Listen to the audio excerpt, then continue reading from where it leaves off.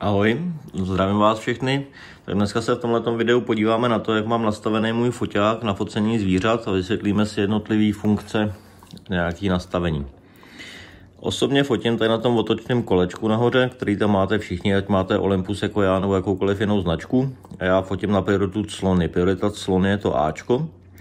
Případně pokud máte Canon, tak je tam napsáno AV. Priorita slony znamená, že pokud si to tam nastavíte nahoře, a budu otáčet tím kolečkem u spouště, tady nahoře, nebo případně to máte ze předu, tak se mění to číslo za tím písmenkem F, to znamená mění se clona. Ta clona nám vlastně určuje hloubku ostrosti, to znamená, že vlastně nám určuje, jak velký prostor v tom místě, kam budeme zaostřovat, bude ostrej. To znamená, čím větší je to F, tím větší je ten prostor té ostrosti. To znamená, že takto.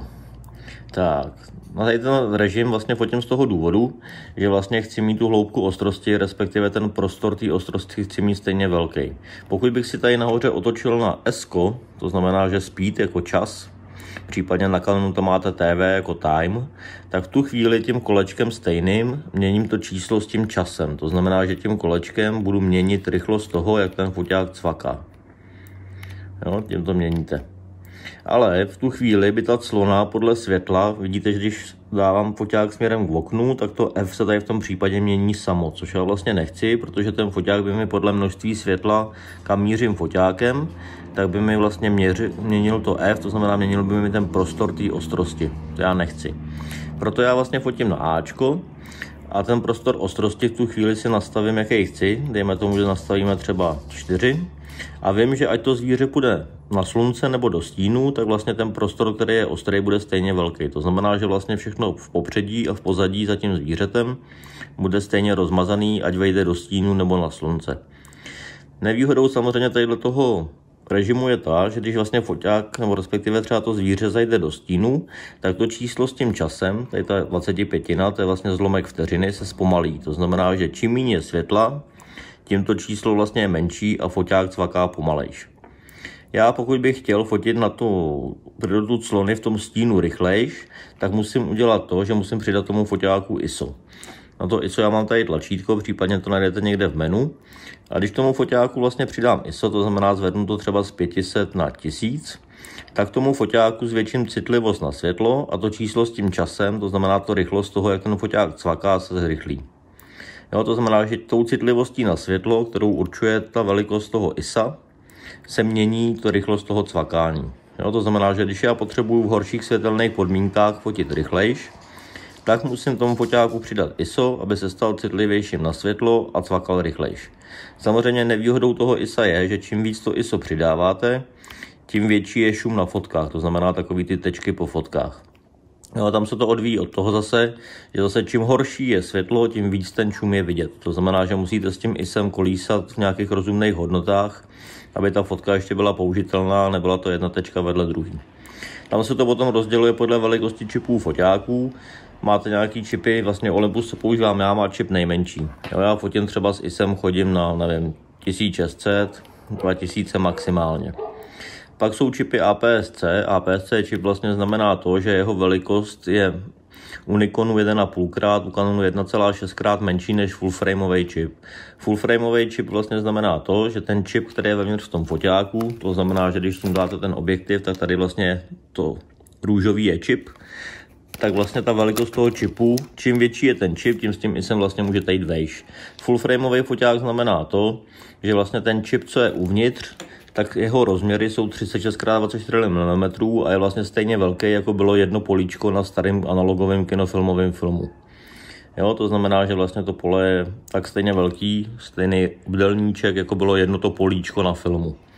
To znamená, že pokud máte full frameový foťák nebo si ho koupíte, tak v tu chvíli s tím ISem můžete jít na nějaký, dejme tomu, vyšší hodnoty. Třeba když jsem testoval, nevím, Sony, tak u toho Sony jsem fotil třeba na 12800 ISO a ještě to bylo v pohodě. Jo, prostě jedno, jako jednoduše řečeno, čím větší je čip, tím s tím ISO můžete jít vejš. Tak, to se týče nastavení dalšího.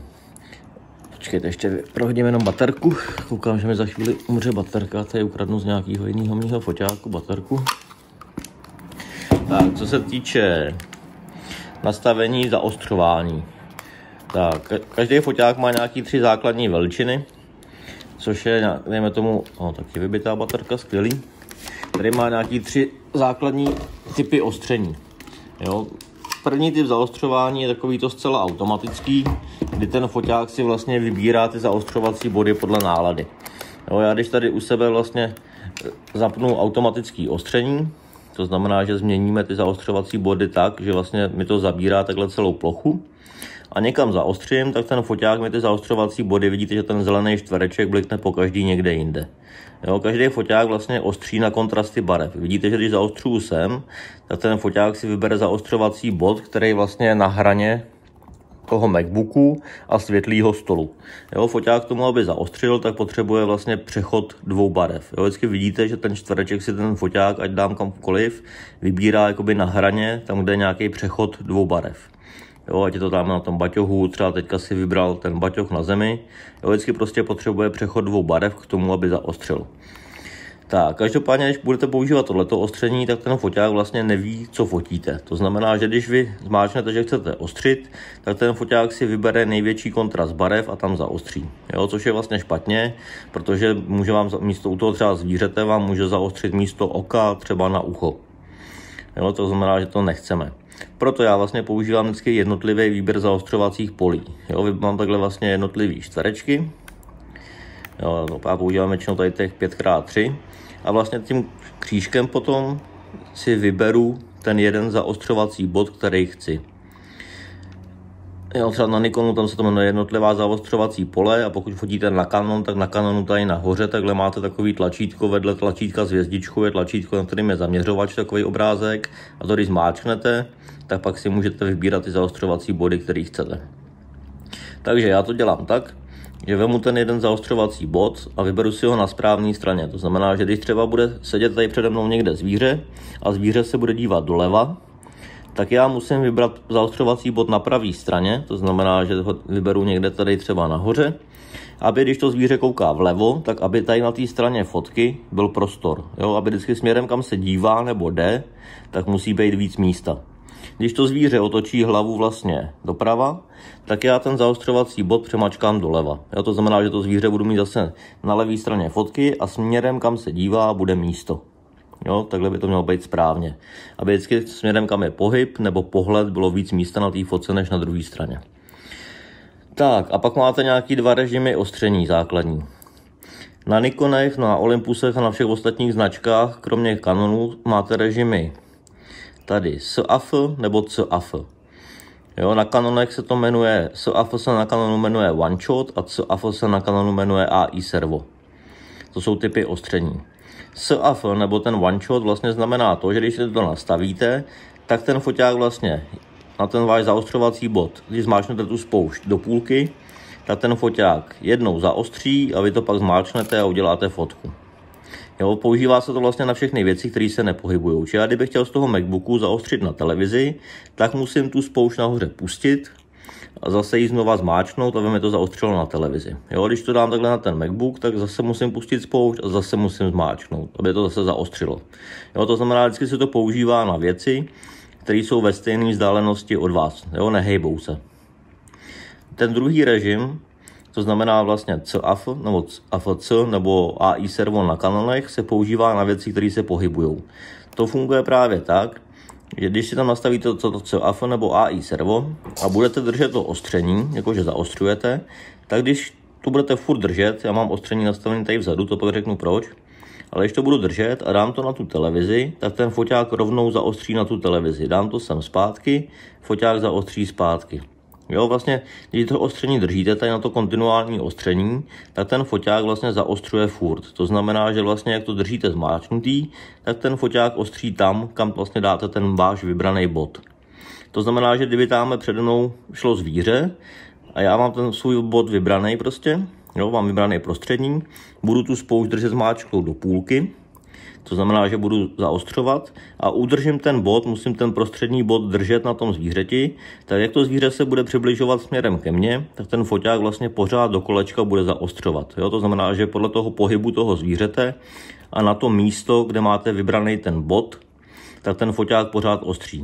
I když si nastavíte sériový snímání, to znamená, že ten foťák vlastně cvaká jednu fotku za druhou, to znamená většinou tam je takovýhle obrázek, jakože tři fotky, tak když ten bod dáte vlastně takhle na to zvíře a budu to takhle držet a on to bude cvakat jednu za druhou, tak ten foťák vlastně, i když to zvíře jde směrem ke mně, tak ten foťák pořád zaostřuje podle toho pohybu i mezi každou tou jednotlivou fotkou.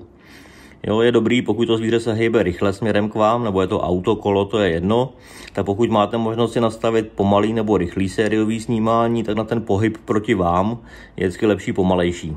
Jo, abyste vlastně tomu objektivu na tom foťáku dali víc času zaostřovat. Jo, to znamená, že fotím na ty věci, které se hýbou směrem ke mně, fotím vždycky na to pomalejší. Jo, je to tvaká pomalejší. Tak, jo, to znamená, že pokud chcete fotit věci, které se hejbou, nastavte si tam nastavte si tam CAF, kontinuální ostření, nebo na kanonech je tam napsáno AI servo. A na to, když budete fotit, budete držet ten váš vybraný jeden bod, který potřebujete na tom zvířeti. Budete držet spoušť do půlky, tak ten foťák bude pořád zaostřovat tam, kam dáte ten bod. To znamená, že ten bod dáte tady na to jabko, ten foťák zaostří na jabko. Dáte to tady na nápis, foťák zaostří na nápis. Dám to na televizi, foťák ostří na televizi. Jo, pořád do kolečka. Pořád vlastně zaostřuje. Proto se to používá na věci, které se hybou, protože ten foťák do nekonečna ostří. Tak, to máme tohleto ostření. Další jako víte základní věci. Tak VB tam máte, nebo AVB napsáno na hodně foťáka, tak to je vyvážení bílé barvy. To znamená, že když to měníte, tak vlastně měníte kelviny, to znamená měníte teplotu barev, je to vlastně to samé, jako když to přirovnám, když si jdete třeba koupit žárovku domů, tak si můžete koupit teplou bílou nebo studenou bílou. Jo, vlastně je to teplota barev. Já osobně fotím na auto vyvážení bílé barvy, Každopádně třeba, když jsem 8 let fotil na Nikon, tak jsem používal vyvážený bílý barvy mráček, že ten mráček vidíte, že má víc kelvinů, to znamená, jsou teplejší barvy než na to auto. Jo, Nikony třeba všechny mají chladnější barvy, to znamená, že fotí do modra, tím, že se tam dáte mráček, tak nebudeme se potom každou fotku upravovat. Jo, každopádně vyvážení bílé barvy je v jakýmkoliv programu na postprodukci první tahátko, takže pak se to dá případně upravit. Tak, potom ještě by vás mohlo zajímat měření. Měření je vlastně to, jak foťák měří světlo v tom místě, kam vlastně tím objektivem míříte. ESP, nebo na Nikonech se to třeba jmenuje celoplošné měření, tak to vlastně měří světlo v celé té fotografii. Integrální měření vlastně fotí vlastně většinou, nebo jmenuje se to na některých foťákách se zdůrazněným středem. V tu chvíli vlastně ten foťák dává největší důraz na množství světla uprostřed toho místa, kam míříte a trošku okolo. Bodové měření to se používá vlastně na věci spíš menší, to znamená třeba makro nebo takové věci, na malé věci prostě, že vás zajímá vlastně světlo jenom v tom místě, v tom malém místě. Tak. To je asi takový jakoby základ. Jo. Určitě důležitý je fotit do RAVu. Pokud nevíte, jaký je rozdíl mezi RAVem a JPEGem, tak vlastně RAV versus JPEG je úplně to samé, jako kdybyste fotili na kinofilm, Jo, RAV je jakoby kinofilmem a JPEG je fotkou vyvalenou na papíře. To znamená, že pokud do RAVu vyfotíte něco, co bude třeba, dejme tomu, jakoby tmavý, když to takhle stmavím, tak v tom RAVu se to dá v pohodě zesvětlit bez ztráty kvality té fotky. Pokud budete fotit do JPEGu a JPEG, jak jsem říkal, je ekvivalentem vlastně vytisknutý fotky na papíře, tak v tu chvíli vlastně s tím JPEGem se už nedá moc pracovat. To znamená, pokud něco vyfotíte tmavý, jakože černý, že to bude hodně černý, tak v tu chvíli vlastně nemá, ten JPEG neobsahuje vlastně ty informace, které byly v těch tmavých místech, to znamená, nedá se to potom případně zesvětlit. Jo, je to prostě, ten RAV jako má strašnou výhodu v tom, že můžete zachránit potom světlejší, tmavší fotky a pracovat s tím bez ztráty kvality té fotografie. Tak, to je asi takový základ. Co já třeba používám, nevím, jestli tady mám nějaké fotky, mám vlastně jsem teďka tady fotil. Hodně používám to, že fotky ve foťáku, když si dáte přehrávání jako play, tak se dají ve foťáku zamykat. Tady vždycky u toho tlačítka AEL, nebo na Canonech, když si dáte v Canonu si dáte menu a v Canon má rozdělený menu barevně, tak když budete do modrého menu, tak tam je ochrana snímků. To znamená, že když mě se třeba tady ta fotka líbí, tak tím klíčkem, když to zmáčknu, tak si tu fotku zamknu. Tady se mi objevil takový malý zelený klíček a to znamená, že ta fotka je zamknutá. Já pak, když půjdu do menu foťáků a dám smazat všechny fotky v té foťáku, tak se mi vlastně smažou všechny fotky, kromě těch zamčených tím klíčkem. To znamená, vidíte, že tady ta jedna mi tady zůstala. Jo? A já pak, když přijdu vlastně domů a třeba celý den fotím, nafotím za den 500 tisíc fotek, tak potom si takhle třeba pozamykám, když chvíli nefotím tím foťákem třeba 10 fotek, které se mi líbí, rovnou těch 990 fotek smažu a když večer přijdu domů, tak přijdu jenom s 10 fotkama a nemusím už 3 hodiny je prolížet v počítači. Jo, musíte dostat jakoby, tu odvahu ty fotky mazat, ale určitě vám to ušetří hodně času při výběru těch fotografií. Tak, co vám ještě tak jako řek. Jo, určitě je dobrý kontrolovat si vždycky na objektivech, jestli má to zaplý stabilizace a takovéhle věci. A to je asi tak si myslím jako takový základ dostatečný. Pokud máte nějaké dotazy, pište pod video no, pod příspěvky na sociálních sítích, kam tady to video určitě dám. A pokud vám to bude hodně nejasný nebo tak, tak zkuste mrknout na moje další videa, nebo třeba přijďte na nějaký kurz do zoologický, do bavorského lesa, nebo se mnou můžete i vyrazit do nějakých pralesů po celém světě. Tak jo, doufám, že vám to video trošku pomohlo. Přeju vám pěkný víkend a mějte se zatím hezky. Čau, čau.